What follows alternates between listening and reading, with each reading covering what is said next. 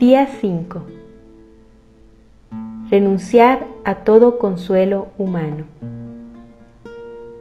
Imitación de Cristo, libro 3, capítulo 40. Por lo cual, si yo supiese bien desechar toda consolación humana, ya sea por alcanzar devoción o por la necesidad que tengo de buscarte, porque no hay hombre que consuele, entonces con razón podría yo esperar en tu gracia y alegrarme con el don de la nueva consolación. Porque delante de ti yo soy vanidad y nada, hombre mudable y flaco. ¿De dónde pues me puedo gloriar? ¿O por qué deseo ser estimado? ¿Por ventura de nada? Esto es vanísimo. Verdaderamente, la gloria frívola es una verdadera peste y grandísima vanidad, porque nos aparta de la verdadera gloria y nos despoja de la gracia celestial. Porque contentándose un hombre a sí mismo, te descontenta a ti. Cuando desea las alabanzas humanas, es privado de las virtudes verdaderas. La verdadera gloria y alegría santa consiste en gloriarse a ti y no en sí.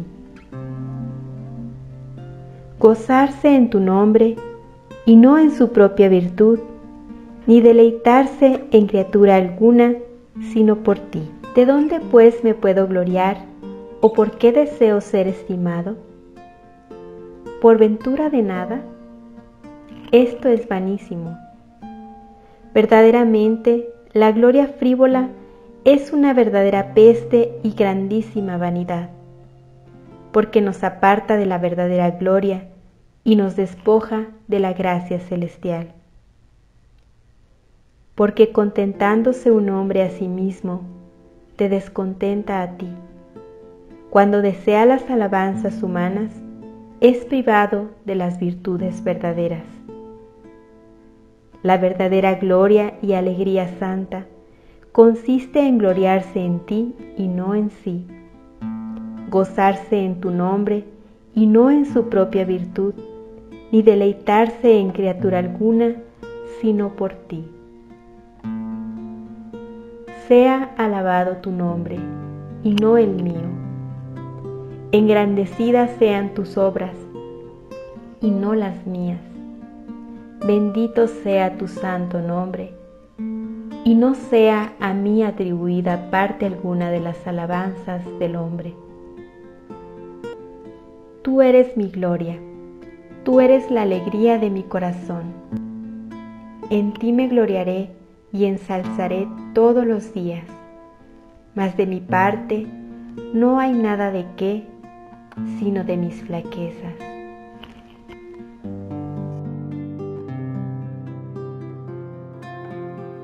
Oraciones para los doce días preliminares.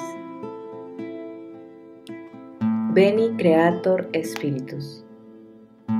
Ven Espíritu Creador, visita las almas de tus fieles, llena de la divina gracia los corazones que tú mismo has creado Tú eres nuestro consuelo, don de Dios altísimo, fuente viva, fuego, caridad y espiritual unción.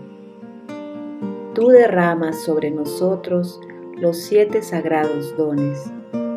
Tú, el dedo de la mano de Dios.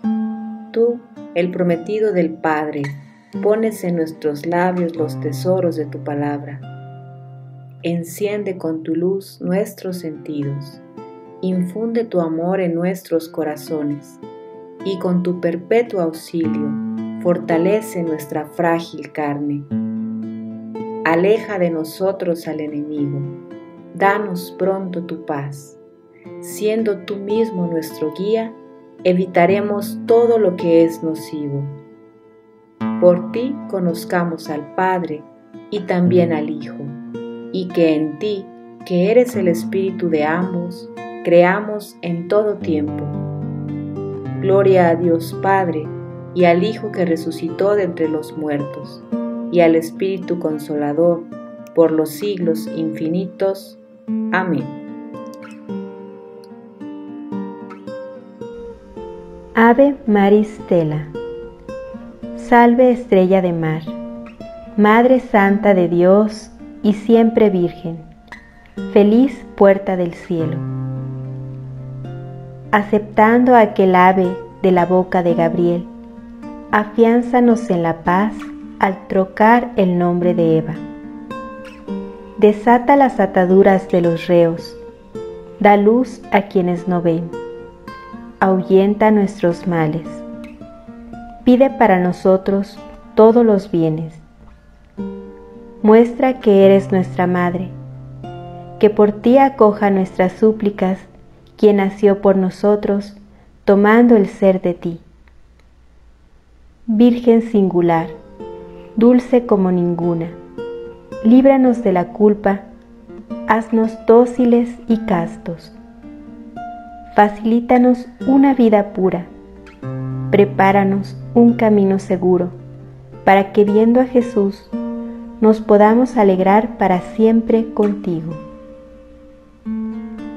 Alabemos a Dios Padre, glorifiquemos a Cristo soberano, y al Espíritu Santo, y demos a las tres personas un mismo honor. Amén.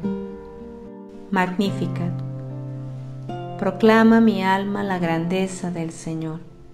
Se alegra mi espíritu en Dios mi Salvador, porque ha mirado la humillación de su esclava. Desde ahora me felicitarán todas las generaciones porque el poderoso ha hecho obras grandes por mí.